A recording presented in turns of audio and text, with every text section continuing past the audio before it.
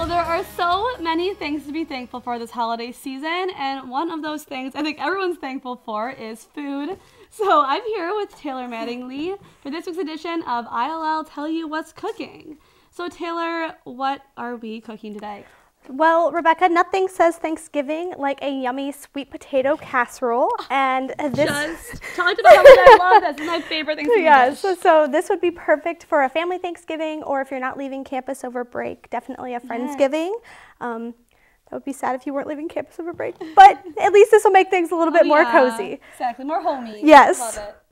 It. So um, the first thing you're going to need to do is I've split this recipe in half so you guys could see the finished product today. Um, so you're going to need about three pounds of sweet potatoes. Okay. Uh, I already boiled them in water. You're going to want to boil them until you can stick a fork in them and it'll fall right off. Okay. Do you cut it up then, or Yes, kinda you skin remove it, um, skin okay. the sweet potato, and then of course peel it, I guess, instead of skin it. And then um, you would chop it up and then boil it just until it's tender. It takes an hour, depending on how big you um, dice the chunks. Okay, awesome. All right. the so next step here? So the first thing you're going to want to do is add one tablespoon of butter. So I'm going to grab this out, and we'll just take. Just put it right in here. Yep. We're just gonna mash it all up in there together. Right, Should this butter be is it softened? Or Um, it is melted? Okay. softened. I did leave it out just so it would soften up a little bit. Um, it's a lot easier to mix in that way. Of course. Okay. And then you're going to want an eighth of a cup of milk that I've already measured out here. Okay. Love it. I'll pour that over. And then you're going to want about a half a teaspoon of um, cinnamon, or you can use pumpkin pie spice. I like to put pumpkin pie spice in the potatoes and that's cinnamon fun. in the topping. Okay. So cool. we're going to use just a little half teaspoon here. And we're going to, I'm going to pour over all of it. stomach is like growling right now. It it. So good. It, and it smells so good. It, it So definitely good. smells just like that fall, Mm, like pumpkin exactly. spice type. And then you're just literally going to want to mash everything up Okay. and mix it together. So if you want to do that, I'll start on the topping. Sure. So um, this is a little bit different of a different take than your normal sweet potato casserole. It's normally just marshmallows on top. Um, this actually has an almond mixture, or not almond, Oh. uh, pecan mixture Oh, on top of it with the Even marshmallows. more fall, you yes, know? so it's a little bit different. So Oh, I'm gonna like steal Ooh, this measuring cup from you.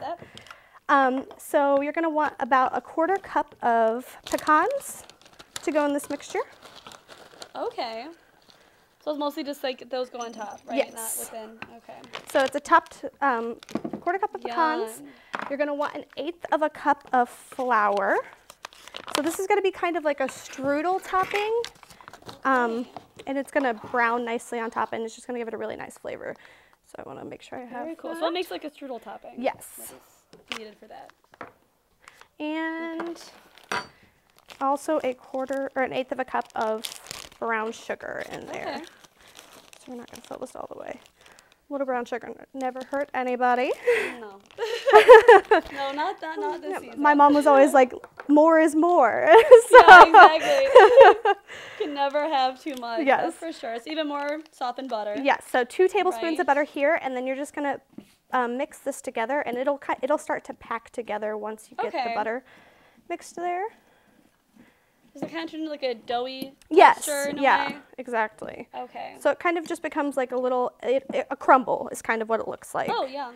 So Okay, like great. on like a Dutch apple pie, they have like a brown sugar crumble. Yes. So once you're done with that, you put this on top, put the marshmallows on top, and pop it in the oven on 350 for about 15 to 20 minutes, Love the marshmallows. and Love it'll all be finished up. favorite foods.